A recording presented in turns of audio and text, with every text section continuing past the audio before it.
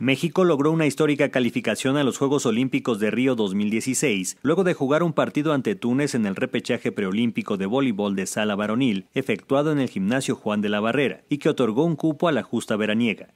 Los parciales fueron 25-23, 23-25, 23-25, 25-19, y el quinto set de trámite fue de 18-20 a favor de Túnez, y México se llevó el histórico pasaporte olímpico. Tuvieron que pasar 48 años para que la selección mexicana lograra su calificación vía competición, ya que la última vez fue en la justa de México 68.